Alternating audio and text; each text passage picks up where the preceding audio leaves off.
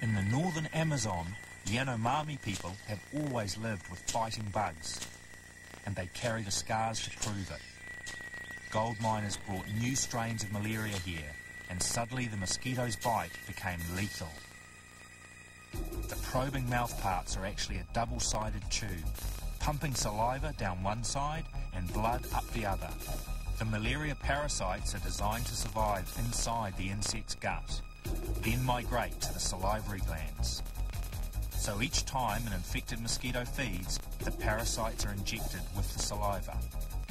They hide from the body's natural defences inside red blood cells, where they incubate and multiply dramatically in a matter of days.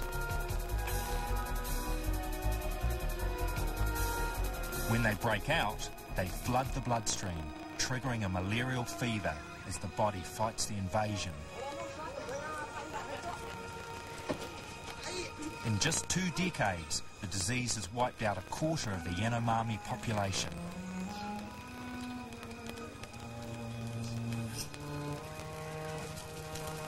Smoke from the cooking fires does keep mozzies away, but it's not enough to save lives. So now, bush doctors are covering sufferers with mosquito nets when they're at their most infectious stage. It's an affordable way of cutting the death toll, and it's something locals can do to help themselves.